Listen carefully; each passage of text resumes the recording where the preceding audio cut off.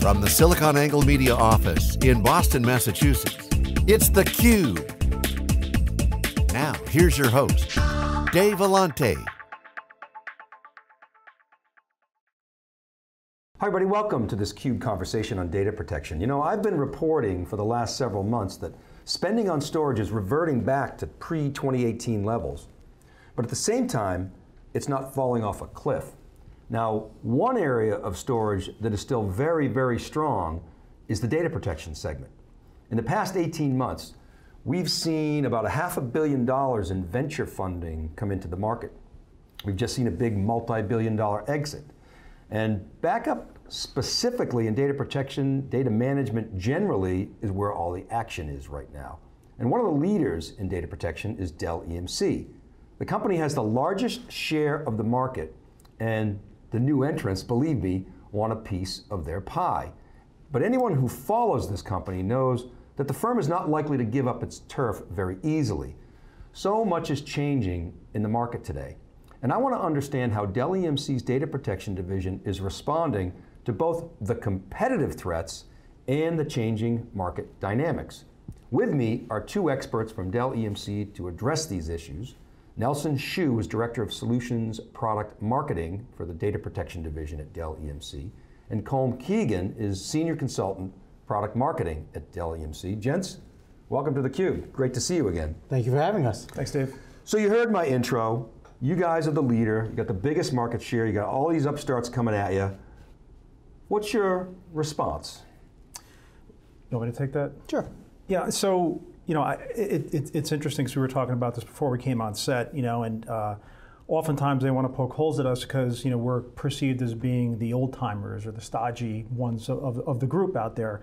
And, uh, you know, play a little jujitsu move and say, you know, well, you know, time and market counts for something. You know, we've been solving data protection challenges for, for customers for, for literally decades now. You know, and so water under the boat and knowing you know the experience that we've derived from that allows us to bring solutions that are mature that are proven right and, and our, what we're doing is we're taking those proven solutions and pairing them with modern capabilities so that you know we look at it and say hey look, look mr customer you have significant data protection challenges today because as you said the world's changing it's changing rapidly we can help you address those while also sowing the seeds for the foundation for the future, right? So we think that's a compelling message, and we think that you know while you know some of our competitors, and particularly the upstarts, have had some interesting things to say, you know, big picture wise, um, they don't know what they don't know, right? Because they just don't have the uh, the time at the time in the market. Uh, their solutions um, are also largely absent upmarket. You know, when you look at the enterprise. Um, so we're comfortable. We think we're in a very good spot right now. So cloud obviously was the huge mega trend of the past decade. Uh, you guys said from the beginning, okay, it's going to be a hybrid world. I think some of that was, we hope it's going to be a hybrid world. Well, you were right, it's a hybrid world. So how is cloud, hybrid cloud affecting your customer decisions around data protection and how are you responding? Well, you know, it, there's no doubt that the, the growth in cloud and growth in hybrid cloud is, is real, and it's there today. Um, you know, as we look, and, and as Colm mentioned, you know, we've been protecting data across the enterprise, across the edge, and, and in the cloud, and that growth continues. So today, we have over a thousand customers that we're protecting their data in the cloud, right? To the tone of over 2.7 exabytes of data protected in the cloud by Dell EMC data protection. So there's absolutely no doubt that that growth is there. Um, we have a lot of innovation um, that we're driving on, both in various areas of cloud native, cloud native cybersecurity and, and deep, uh, deep integration with VMware. Okay, so that's good, 1,000 customers, that's a pretty good observation space. Uh, but when you think about hybrid, what, what I think when I talk to customers is they want that same exact cloud experience. They don't want to have to context switch, they don't want to have to buy different platforms, so, so how are you specifically addressing that customer requirement? So there's a couple ways we look at that, right? Um, for our customers, simplicity is very key mm -hmm. and ease of use. So that's one of our core tenets as we go across both the edge, the core, and the cloud, right? And the other aspect of that is consistency. So giving them and allowing them to use the tools that they know today to be able to protect their data wherever that data resides, right? So with the cloud, with cloud native, your data becomes very, very distributed. Right? And you have to be able to be able to see all that data and control and manage that data. So the whole aspect around cl- cloud data management is now risen to the top as, as a major concern. We do that in a great way in the sense that we both have a hybrid strategy, and a lot of that is working with Dell Technologies Cloud, um, and it's based on upon VMware. And so we have a very good relation, deep relationship with VMware to utilize their tools that our customers use today, whether it be vSphere or vControl, that they can manage their data protection from one console, from one environment itself. Yeah, Dave, I think when you look at the split today, the latest, cut, of re, cut of research is that roughly 52% of VMs are in the cloud and 48% are on-prem. So that it's already hybrid, right? And and as Nelson said, it's largely predicated on VMware.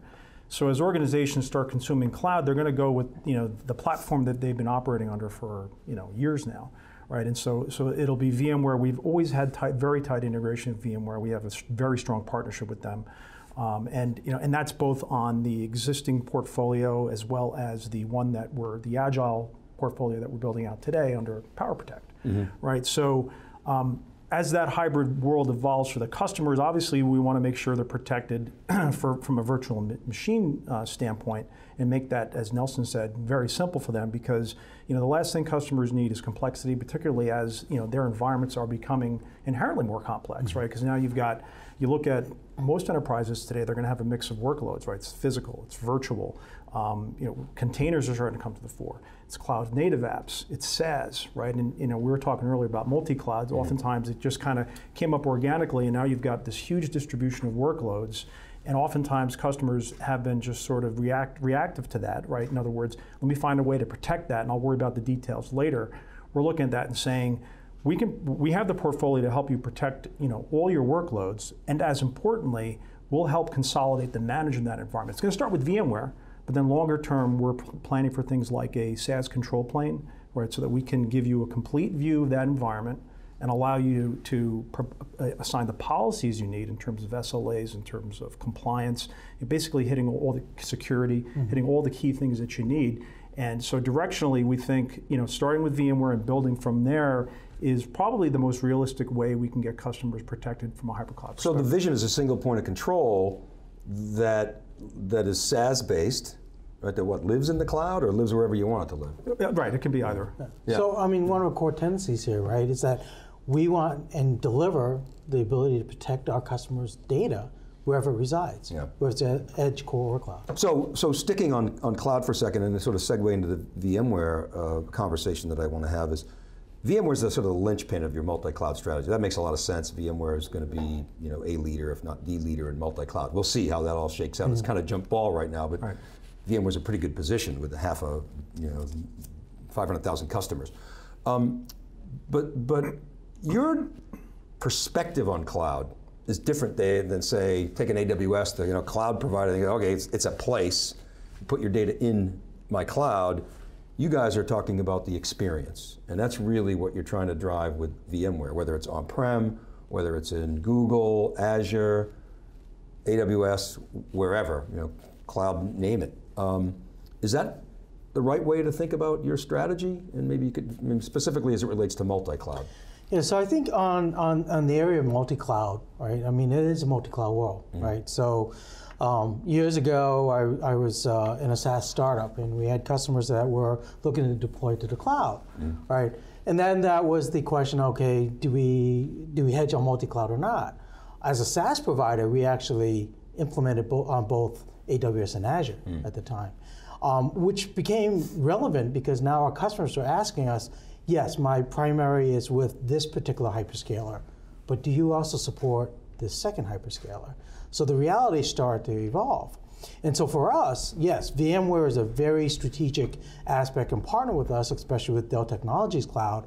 But we also have a multi-cloud relationship with AWS, with Azure, and with Google. Yeah. So, so the, the, compatibility matrix, if you will, yeah. applies now to the cloud. Absolutely. Yeah. Absolutely. So now it's that having that feature functionality across multiple clouds. So one of the things we've obviously paid attention to is Project Tanzu within inside mm-hmm. of, of, VMware, all around bringing kind of Kubernetes and yep. VMware together. Yes. How does that affect um, data protection? Well, I think it affects data protection in the sense that um, addressing the, the, the entire aspect of still your data is, is distributed now, right? And it's going to grow that way. Um, I think that you know we've seen numbers upwards of 70 percent um, of applications will be container based, right? Um, some of that will be growing for to 2022, where there'll be multiple production applications that will be container based. I think what Tanzu will bring to the table is a co cohesive way uh, to manage uh, and control that environment itself. Okay, and so maybe we could sort of drill into that a little bit. You know, containers is, is it's becoming more obvious that people want to uh, persist some of that data. You know, it's largely stateless, but you've got to you know figure out how, how to recover. Um, so, do you have solutions in that space? Is that sort of more roadmap? Maybe you could talk about that a little bit. No, absolutely. So, um, definitely, we have our concrete solutions with our um, Dell EMC PowerProtect Data Manager for Kubernetes. Um, it's actually one of the first that was in the market to support cloud native environments. It, is, we, it is, the first. Yeah, the first uh, offering out there to support Kubernetes. And so the aspect there is that as you know, cloud native has moved from DevOps and now into production and mission critical applications. Now becomes the aspect of originally the DNA of DevOps was, uh, you know, my, my, my data doesn't have to be persistent. Now, when you move into a mission critical environment, your entire environment needs to be protected. And to be able to bring those workloads back up should anything happen. And to be able to protect that data that is critical to those workloads. Okay, and, and so you're saying this is your first.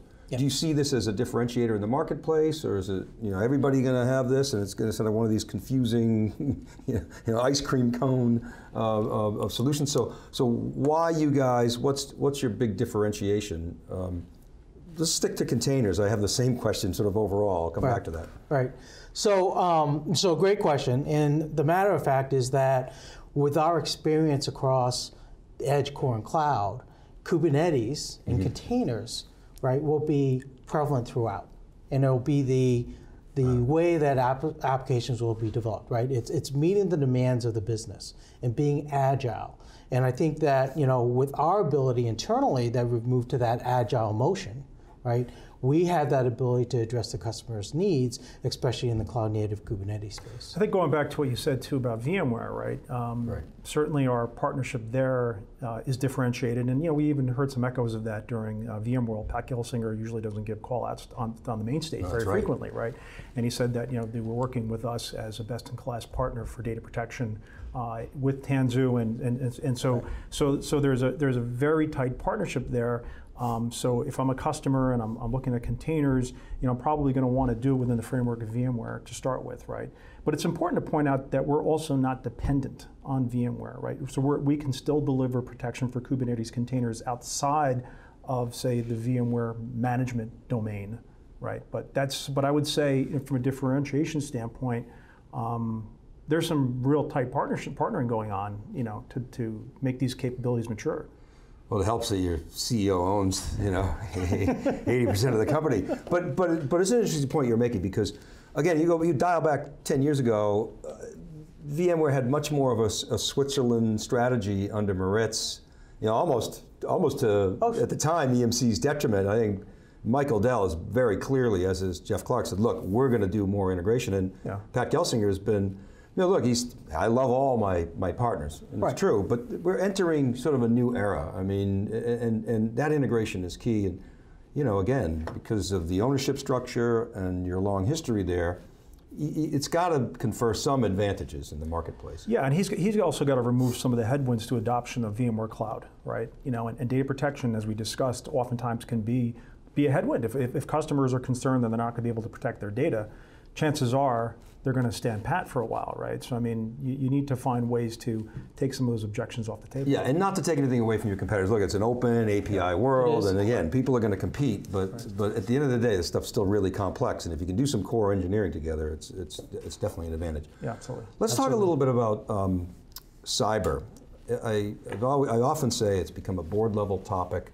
You know, it's not a matter of if, it's a matter of when. SecOps teams are overtaxed. I think I put out a stat lately, and uh, and, and, I got it from Rob, Robert Herjavec actually. Mm. He said, think about this: the, the, worldwide economy is 86 trillion, and we spent we spend 0.014 percent on cyber. That's it. Wow. Right? We're barely scratching the surface, and that's you know part of the problem. Okay, but with that limited resource, we have to be as smart as possible. You got this you know, ransomware coming in. So, yep. what are your customers asking you for, and how are you responding? So it's interesting, right? Because um, it is top of mind, cyber and cyber attacks, and it takes many forms, right? The attacks can be malware, they can be encryption, um, they could be um, deletion, which is ultimately the, the worst case scenario. Um, and I think as you go forward and you look at it, cyber is the number one concern for any CIO, CISO, or, or you know anyone that's worried about their security infrastructure. Which is everybody. Which is everybody, right? Exactly. Um, you know, I think that you know we have delivered for the the cloud data protection area um, a first and best offering with an air gap air gap data protection solution. So inherently, we can insulate and protect our customers' data um, from cyber threats. Um, so when a ransom event occurs, you can recover your data without having to pay that ransom, mm-hmm. right? Or not be concerned that in most severe cases your data gets deleted. Right? I think most recently there was a healthcare provider who was threatened about their data being deleted, and that was the worst case. Um, we were able to um, protect their data in the sense that with our cyber recovery offering, right, they protected their data in an air gap vaulted solution, and they didn't have to pay for that ransom. So what I'm hearing from you guys is, okay, cloud, very important, hybrid cloud, multi-cloud, fundamental to our strategy. VMware, you know, they say bet on sure things. VM was pretty much a sure thing, large customer base, leader in the space, and then cyber as a key concern of customers, you want to expand the notion of backup and data protection to really point it at cyber uh, as well. Absolutely. Absolutely. In fact, um, you know, this recent research uh, called the Global Data Protection Index Survey, and mm-hmm. we just refreshed it. And what, cl- what customers identified as um, the most compelling reasons to adopt cloud is for better performance, better data protection, and better security. Not necessarily in that order, but those were like the top three. Right, so we look at that and say, you know, we've got plays there, right? Certainly, we have capabilities protecting uh, workloads in the cloud, you know, whether they be you know, virtual machines, cloud native, containers, um, but the security aspect of it is huge, right? Because oftentimes customers, and you know, you, uh, Dave, you and I were talking about this, they, they make some broader assumptions about once data is in the cloud, they can kind of like wash their hands and walk away. Not so fast, right? Because certainly, you know, there's a, there's a shared responsibility model that extends not only to data protection, but also to security right? Um, and, the, and, don't get me wrong, the cloud service providers have fantastic security capabilities, have a great perimeter, but as you said, it's not a question of if, it's a question of when, and when something happens, are you ready for it, right? So, so these solutions extend not only to on-prem, but into the cloud, right? So it's, it's that ability, wherever the workload lives, that you can get the right um, protection, uh, and what we're really now referring to as safeguarding the data, right? Because it's a combination of data protection and security that's embedded. Um, and doing it wherever the workload resides. I'm glad you brought that up, Colm. I, I have a, I have a follow up on that, but Nelson, did you want to add something? Well, I just want to mention that, um, and one of the biggest concerns is making sure that that data that you vaulted is actually clean, right, and yeah. safe.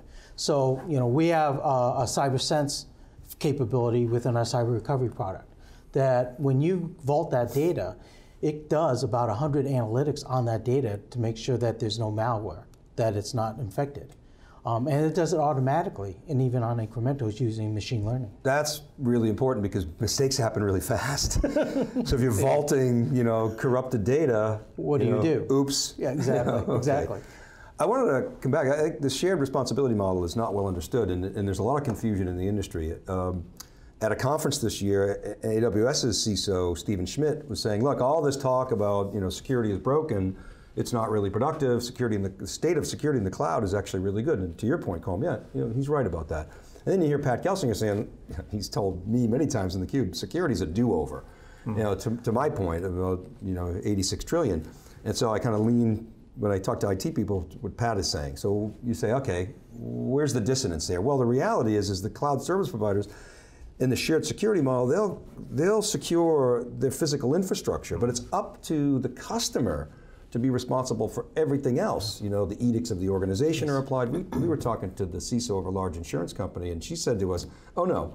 Shared responsibility means it's our responsibility, you know, and so you're not going to go after the, the cloud service provider. You're going to go after the insurance company or the financial right. services right. institution. Their their brand is the one that's going to get hurt, and exactly. so so that's misunderstood.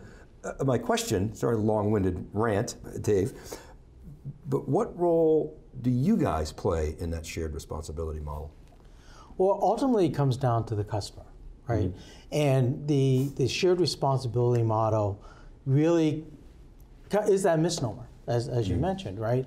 And so at the end of the day, you as the customer own and are responsible for protecting that data. So your data protection strategy, your cyber resilience strategy, right, has to be sound and it has to be secured by those that can actually do it across multiple distribution models of in platforms, whether it's edge core cloud, whether it's VMs, containers. It doesn't change. You're still ultimately responsible for yeah. it. I think it's also, I think maybe what you might be driving at the question, Dave, is, is, is empowering the customers to maintain um, control of their data, right, and, and having the tools in place so that, you know, um, they feel comfortable, but also, and, and, and part of it too is moving more towards, moving more towards automation, because you know as their applic applications grow and, and become as, as Nelson said become more distributed as the data grows exponentially you know this just fundamentally isn't a task that humans can manage very much longer. I, am glad you brought that up uh, because you, you ask a CISO what's your number one problem and he or she will tell you the skill sets to keep up with all this complexity and that's where automation comes in. Correct. It does. Yeah, so that, that's where, we, where we're taking it, right? is trying to make things more automated and, and take tasks away from humans that they just can't keep up with. Yeah. So.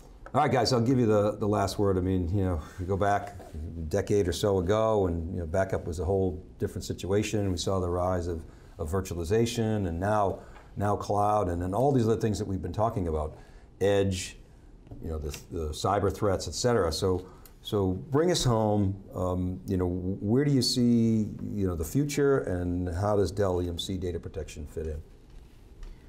Um, you know, it, it's an exciting time. It really is, right? It's it's kind of like uh, the coming of that second storm, right? As, as you mentioned, um, businesses have that demand of um, needing more services delivered more quickly in an agile fashion, um, and as they pair that with the growth of their data, which is distributed, they really have that challenge overall of how do I manage this environment. So, you know, you have to have the observability to understand where your data is and to be able to monitor it.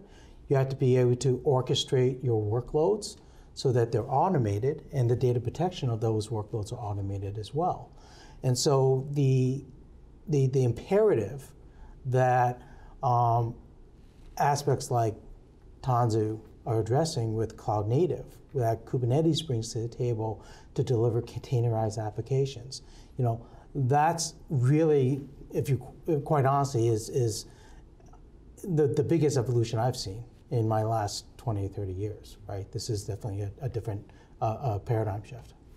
Yeah, you know, um, six months ago I was with a competitor and was taking a look at EMC, or, or uh, sorry, I should say Dell EMC, and I was wondering, should I make a move over here? And, and really what convinced me was um, the fact that the company was willing to basically solve internally the innovator's dilemma, right? You're making so much money on your existing portfolio, but now you're going to start investing in what appears to be almost a compet internal competition to your portfolio. It's not, it's complementary.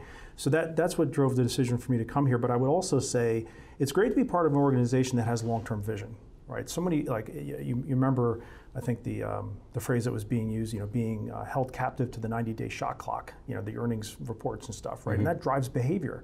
Well, if, you if, if your organization is looking at decade-long goals, that means that you can actually plan to do things that over time are going to actually bring real value to customers, right? And so I think we're doing the right things. We're obviously innovating. We're on this soft, uh, on this agile software development cadence that gives us the ability to solve for problems, you know, incrementally over time, so customers can see that value instead of waiting for large batch releases. Um, but it also gives us the ability to say, hey, when, when we've made mistakes or we, when we hadn't seen certain things come around the corner, we're agile enough to change with that, right? So I mean, I think the combination of having that vision and, and, and putting in the investments, and we've kind of likened ourselves to like the biggest startup, you know, in the, the, the biggest, yeah, the biggest startup in the industry mm. with the backing of a Fortune 50, right? So, you know, from a customer standpoint, you got to look at that and think, you know, that's interesting, right? Because, yeah, I need to solve my, my current problems today. I need to have a path forward for, for the future. And, you know, who am I betting on to deliver that? You know, and, and the, other, the other thing I'll, I'll, leave on is, customers are trying to work with fewer suppliers, not more suppliers, because they want to reduce the complexity. Well, who has the ability to not only bring data protection to bear, but a whole you know, portfolio of technologies, really end to end, you know, that can snap into those environments to again reduce complexity and, and drive more business value. Yeah, that's a, it's a really interesting point you make about consolidations. Ever since I've been in this industry, people want to deal with less suppliers and reduce the complexity. And, and, but you still see startups and VCs funding things, and, and what's happened is there's been consolidation, you know, of the big guys. You guys are the biggest consolidator, and I always say the, the rich get richer, and there's a, there's always this tension between sort of do I go out and buy bespoke, best of breed tools, or do I get them from somebody who can help me across the portfolio? That's really where your strength is. Guys, thank you so much. This is really a very important topic. Data protection is one of the most important areas that we've been covering. I've been reporting on it a lot. As I said, a lot of venture money's been, been flowing in. So really appreciate you guys coming in, sharing your perspectives, and, and best of luck in the marketplace. Appreciate it, Dave. Thanks for Thank having you. us. It was great. You're welcome. All right, and thank you for watching, everybody. This is Dave Vellante for theCUBE. We'll see you next time.